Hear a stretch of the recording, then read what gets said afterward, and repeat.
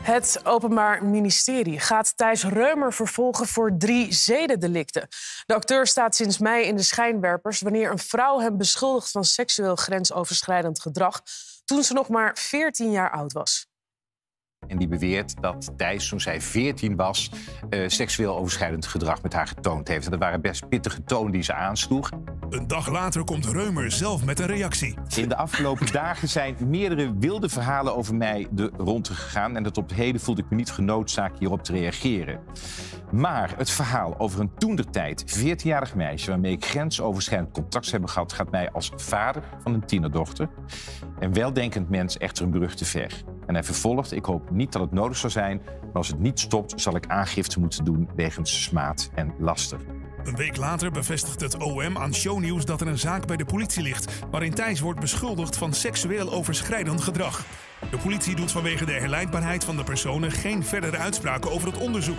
Daarna blijft het stil, tot Igone de Jong, de vrouw van Thijs, zich voor het eerst uitlaat over de beschuldigingen. Er was iemand op eh, Instagram die haar eh, een aantal vragen stelde. En onder andere werd er gevraagd: hoe ben je samen met Thijs door de beschuldigingen gekomen, een paar maanden terug? En zij zegt dicht bij elkaar blijven en heel goed de kinderen beschermen. Het management heeft vandaag bekendgemaakt dat hij voor de komende tijd zijn eh, werkzaamheden volledig heeft neergelegd.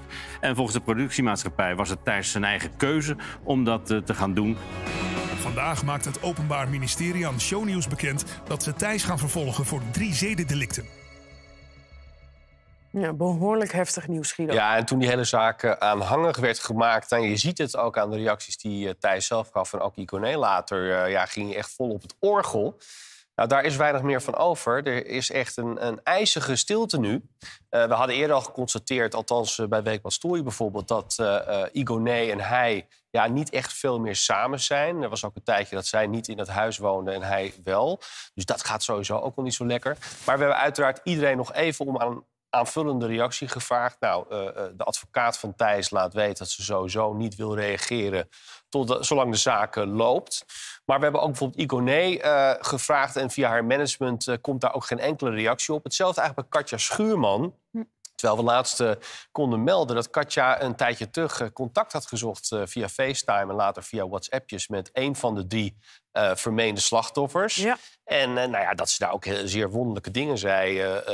bijvoorbeeld dat zij het meisje geloofde. En dat ze het vooral ook zo vervelend vond voor haar dochter Sammy, die naar de middelbare school ging. En die daar gepest zou worden, omdat haar vader hiervan verdacht wordt.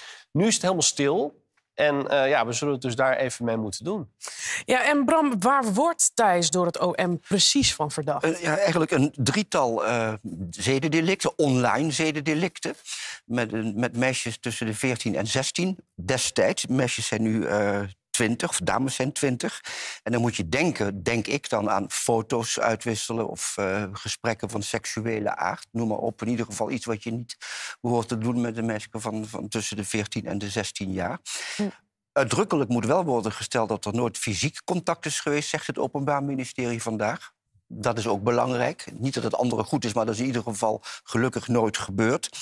En uh, de dames zijn nu 20. Eén van de dames, daar weten we dat van. Daar hè? weten we dat ja. van. Dus ze hebben wel alle drie aangifte gedaan destijds. En het Openbaar Ministerie heeft vandaag gezegd, dat is allemaal duidelijk geworden, we gaan uh, Thijs Reumer vervolgen. Nou, dat is natuurlijk, dat zei Guido al, als een klap aangekomen. Maar uh, de, je moet dan aannemen Anders dan bijvoorbeeld in de zaak van Danny de Munk of andere mensen. Dat ze zich zodanig sterk voelen dat men dat naar buiten brengt en denkt van we gaan de vervolging aan. Dus je zou denken dat het OM iets moet hebben, want anders doe je dit niet. Ja. En volgens mij hebben wij uh, ook nog beelden van uh, die aangifte eerder dit jaar reactie van beide cliënten die ik bijsta in deze zaak is dat ze opgelucht zijn en uh, dat ze hiermee een uh, bevestiging eigenlijk krijgen van het uh, Openbaar Ministerie naar aanleiding van de aangiftes die zij eerder hebben gedaan, waar in de loop der tijd ook al wat commotie over is geweest in de media, of het nou wel of niet klopte. Thijs wordt verdacht van een online zedenmisdrijf.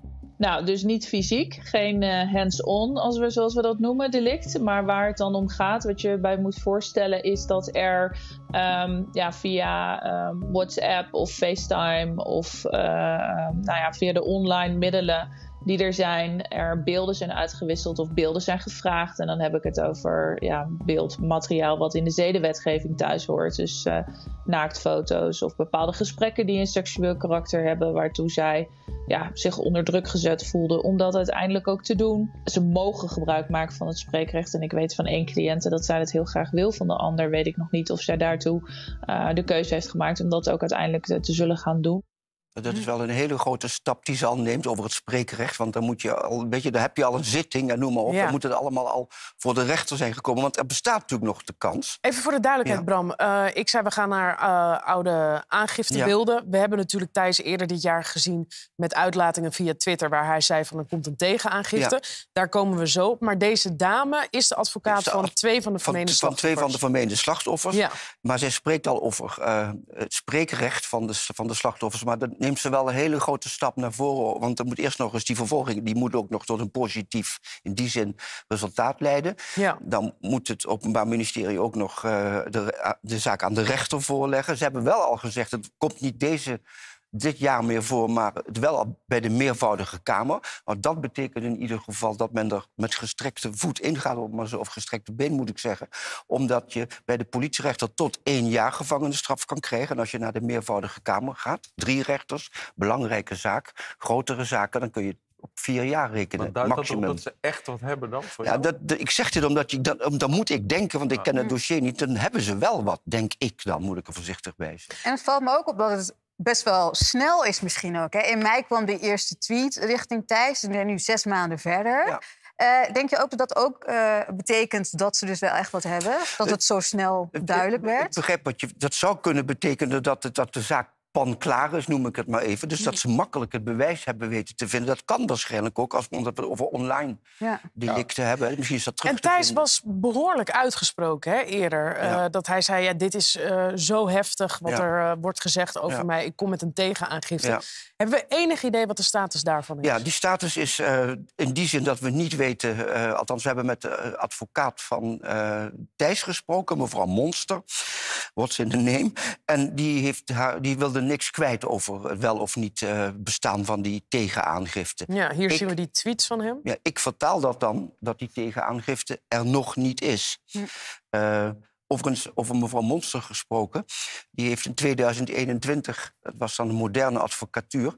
eh, naar buiten gebracht dat zij geen cliënten bijstaan die ontkennen. Dat vind ik op zichzelf een hele merkwaardige gedachte voor een strafrechtadvocaat. Want Maar wat is daar de reden dan van, denk je? Ja, omdat zij, eh, heeft toen gezegd, ja, ik wil het op een andere manier doen, moderner. Ik wil, dat als, de- ik wil de, de, de cliënt in, in, in het gezicht kunnen kijken. En die moet zich niet altijd op zijn zwijgrecht beroepen. Zoals ik dat altijd adviseerde als je het dossier nog niet kent. Of zou dat betekenen dat Thijs niet ontkent? Ja, dus, dat- dus waarom zeg ik dat? Als het waar is dat ze nog steeds de stelling heeft... wat ze toen zei, ook in onze uitzending... ik sta geen mensen bij die ontkennen... dan zou dat kunnen betekenen... maar dat is mijn gedachte nu... dat hij dus niet ontkent naar haar toe. Dat weet ik niet. Maar als ze staat bij wat ze in 21 heeft gezegd...